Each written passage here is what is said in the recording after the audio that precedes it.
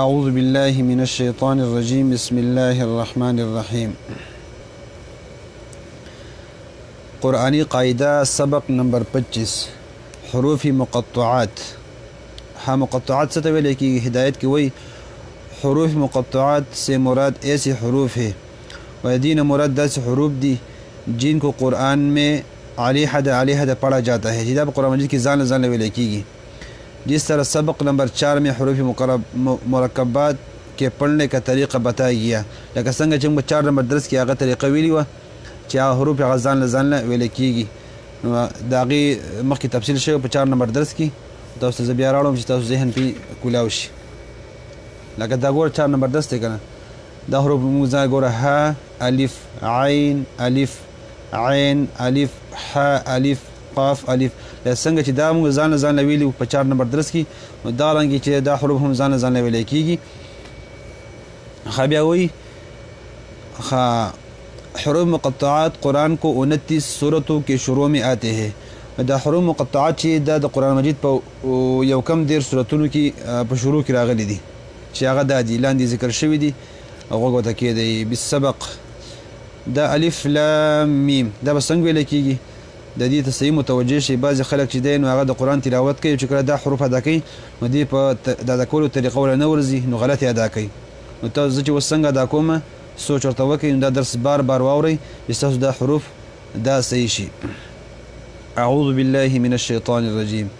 ګورل ته لاندې چې لیکلي لاندې لاندی لا ځان له ځانه لیکلی چې دا به ځان له ځانه ویلی کیږی الف الف کې مد نشته بعضی خلک وایي الیف الیف یا به کې پیدا کوي بعضی خلک کوي الف دا ویل غلط دي بلکې الف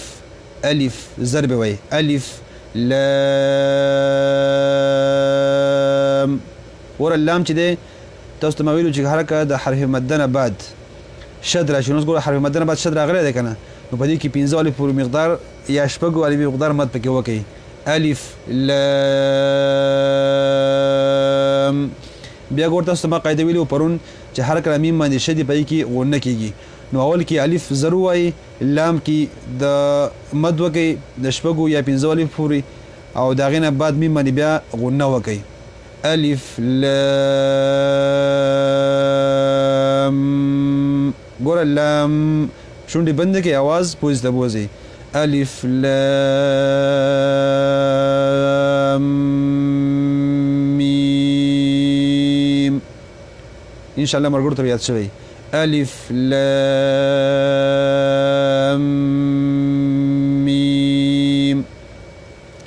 دغسی دا هم دی ګوره الف الف الف زر وای لام لام کې چې دی مد دی د پنځو نه وړ تر د شپږو الف پورې بیا میم میم کې هم مد دی میم صاد کې هم مد دی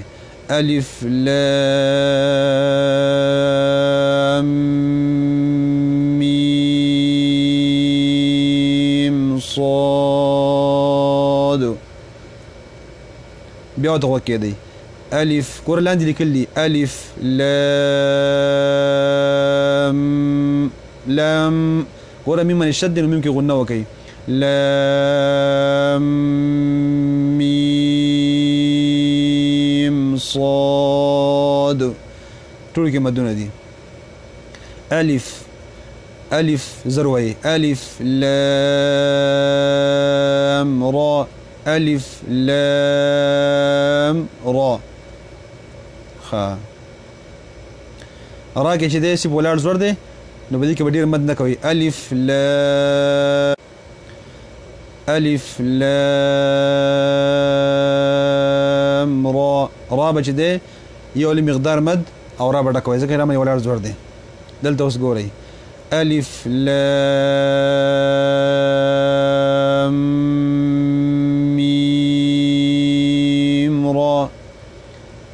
ګوره الف لام بیا غنه وکئ بیا وای میم مد وکئ بیا را را ډکوئ یو لږ مقدار مد پکې وکئ اوس دا کاف کاف کې چې څه وکئ مد وکئ کاف ها کې چې دی ولاړ زوړ دی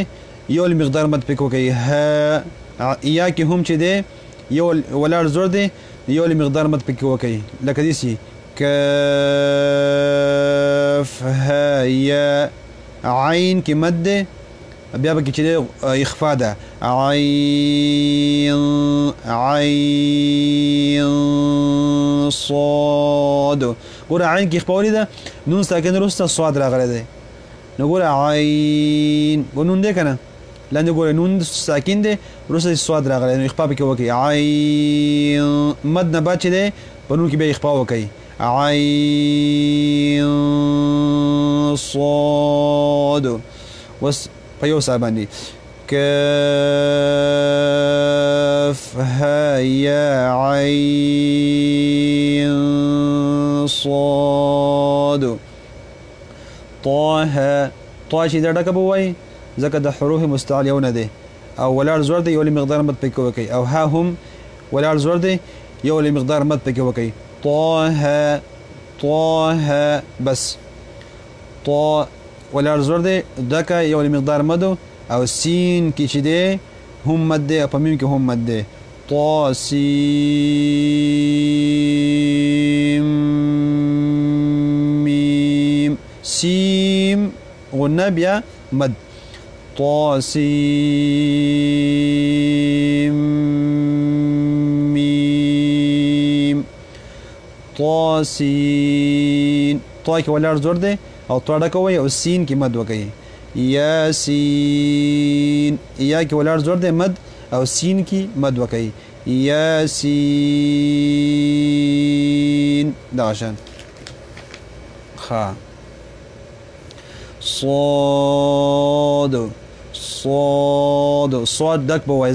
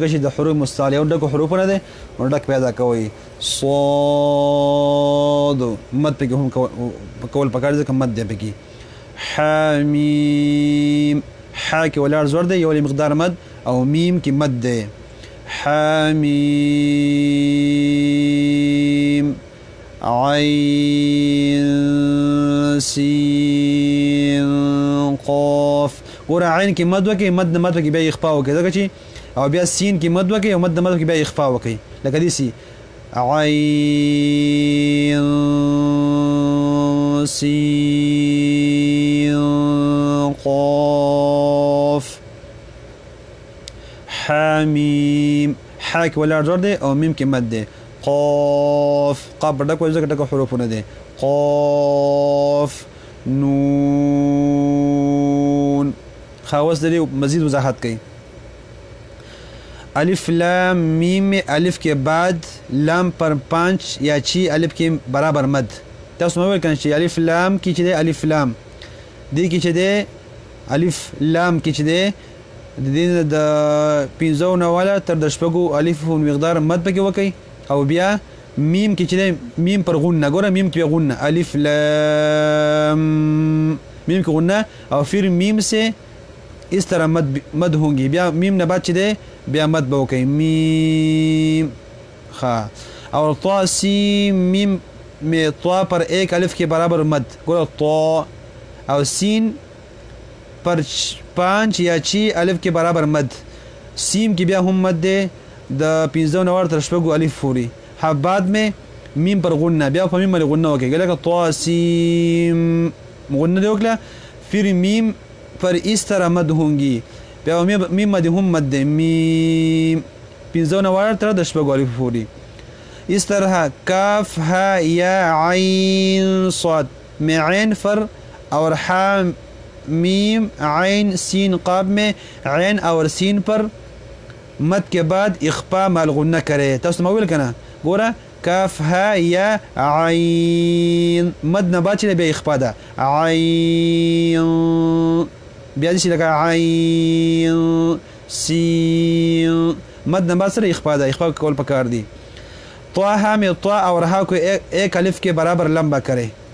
وی طه کې چې ده دا کې ولاړ زور دی یو مقدار پکې مد وکي اس طرح جس حرف پر کړه زبر کړي زير يا الټه پيش هو و کم حرف باندې چې ولاړ زور ولاړ زير او الټه پيشي اس کو ايک الف کې برابر لمبه کري نو دغه ولاړ زور ولاړ زير الټه پيش د يو الف مقدار چې دی هغه